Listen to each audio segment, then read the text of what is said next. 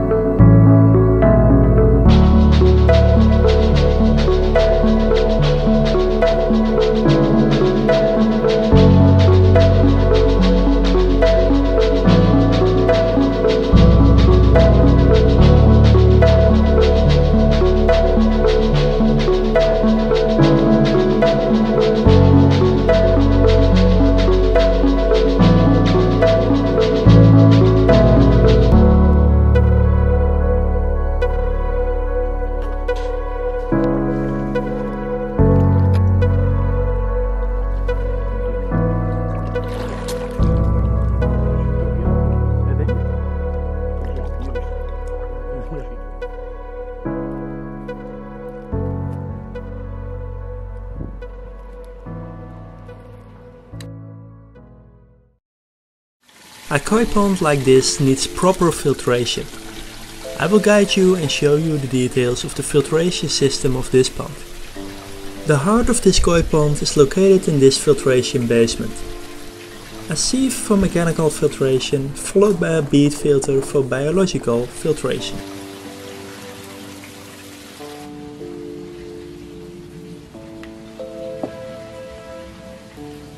Koi pond itself is 6 meters long, containing two bottom drains and a skimmer, which together feed the sieve with to be filtered water.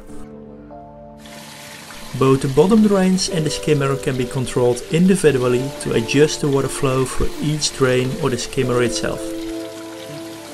Directly on entering the sieve, all water needs to pass the UV unit that is located directly in the collector chamber of this sieve. The advantage of these type of UV units is that there is no loss of any water flow. Then the water needs to pass the screen, filtering out small pieces, and of course that can be flushed out easily using the drain.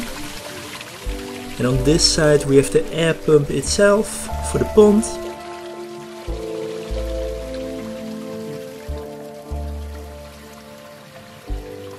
Some electricity and then here we have the Blue Eco Pond Controller, a variable pump to increase or decrease water flow. Next to it is the transformator for the UV unit which displays the number of working hours for the current UV lamp. and then the bead filter itself for biological filtration. And on this side is one extra valve to flush the bottom drains directly. And on the other side we have the three inlets. Two on this side of the pond, one in the deeper area for the summer and one in the shallow area for the colder season. And on the other side of the pond is also one inlet for better flow.